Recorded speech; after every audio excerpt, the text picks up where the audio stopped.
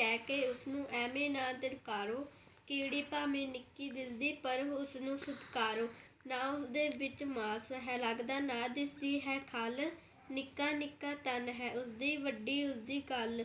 ਨਾ ਕੁਝ ਸਾਨੂੰ ਬੋਲ ਸੁਣਾਵੇ, ਨਾ ਕੋਈ ਭਰੇ ਹੁੰਗਾਰਾ, ਪਰ ਉਸਦੇ ਕੰਨੇ ਕੰਮ ਅਜਿਹੇ ਧਿਆਨ ਜੋ ਖਿੱਚਦੇ ਸਾਰਾ।